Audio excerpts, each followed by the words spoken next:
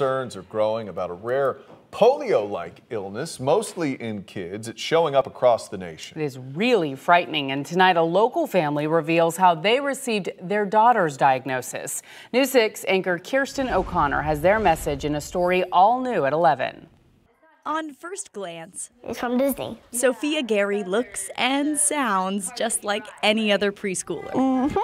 So, Sophia was a very healthy two and a half year old before this happened and she had a cold. Um, but this particular cold, she woke up one day and said, Mommy, I can't walk. This is Pinky Sunshine. Amanda and her husband Joseph couldn't understand what was wrong. We would just kind of pick her up and she would just collapse. That was two years ago.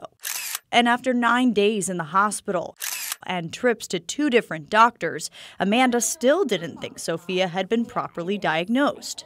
It wasn't until consulting with a specialist in Dallas that the Garys were finally able to zero in on Sophia's exact illness. He took a look at her records and he said, This is a textbook case of AFM.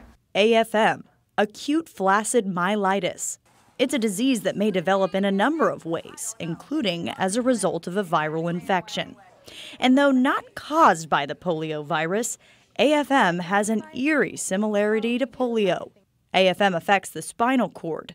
Symptoms can include limb weakness, facial drooping, and trouble swallowing or speaking. The Centers for Disease Control says that over the last four years, there have been 386 cases of AFM across the U.S.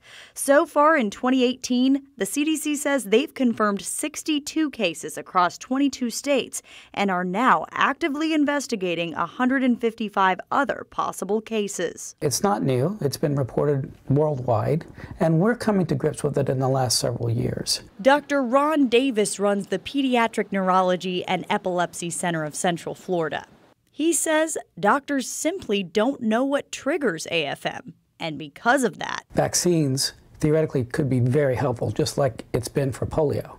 So if we could isolate whatever the virus is or the autoimmune response caused by the virus and then develop a vaccine, that would be wonderful. And for Sophia and her family, that is what keeps them going. We were devastated, and we still are to an extent devastated. Um, it's been two years. Um, so we have grown to accept it a little bit more, but we still hold a ton of hope that there will be a cure down the road. In Orlando, Kirsten O'Connor, News 6.